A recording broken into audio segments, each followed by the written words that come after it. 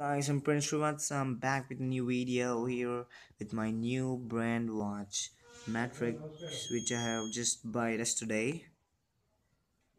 Actually, it's the pretty best watch that I had ever found because uh, you can see its style. I will show you zoom it, and you can see Matrix. Now the time is 7:25, and you can see its style because I'm going to show off the light.